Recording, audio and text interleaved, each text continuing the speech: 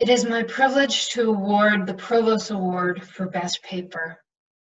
This award is given to the senior who publishes the best paper in the review, St. John Fisher College's annual undergraduate research journal.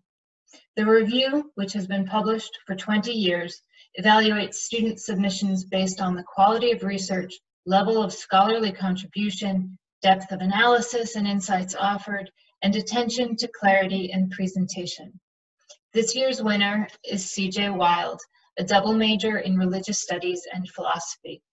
His paper, Evangelizing a Nation, Catholic Priests in America, traces the historical efforts and challenges faced by Jesuit and Franciscan religious orders to establish their Christian faith in the New World.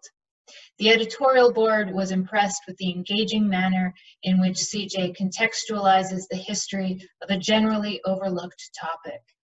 CJ's article, this year's review, and those of previous years can be found in Fisher Digital Publications. Congratulations, CJ.